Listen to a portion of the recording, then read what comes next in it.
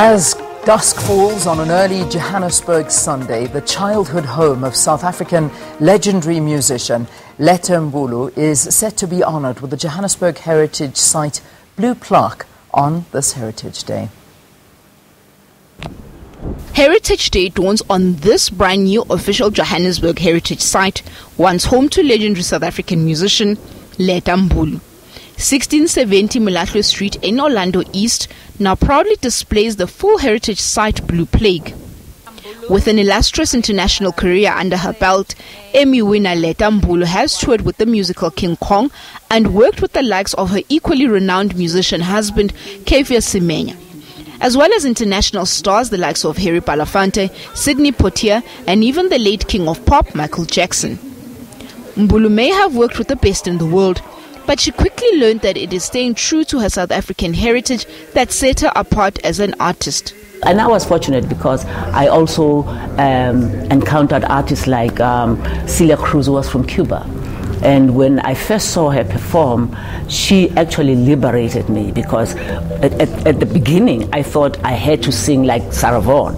I had to sing like uh, whoever, you know, uh, Nancy Wilson. But when I saw her sing Cuban music, salsa, and singing it in Spanish, I said, oh, okay, I can do this you know, I have sounds from South Africa, we can put that together.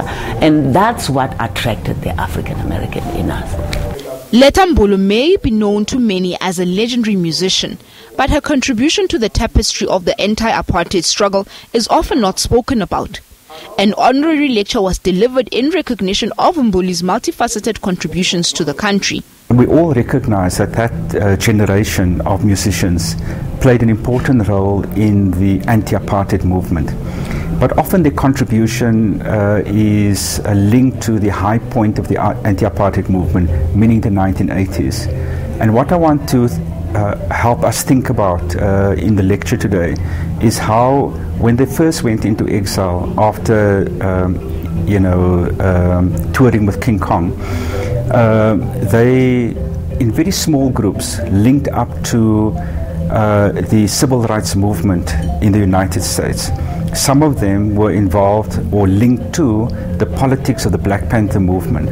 They were working with people like Harry Belafonte, Maya Angelou, and in the United States and elsewhere, but the United States was an important place where this happened, they linked up with people from elsewhere on our continent. And in that way, uh, contributed to the creation of an awareness of our Africanness as part of the celebrations, a fun walk to the Orlando Communal Hall in Orlando East will start before the official unveiling of the plaque. Mahlako Komane, SABC News, Johannesburg.